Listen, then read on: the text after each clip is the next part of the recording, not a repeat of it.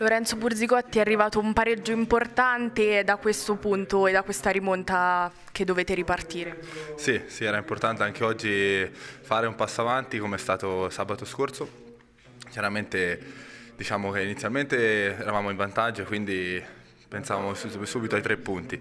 Poi chiaramente si è ribaltata questa partita, ma secondo me la squadra ha dimostrato grande carattere nel, comunque riprendersi questo punto, che era un punto comunque importante con una squadra che, come sappiamo, anche in classifica è messa molto bene, stanno facendo bene.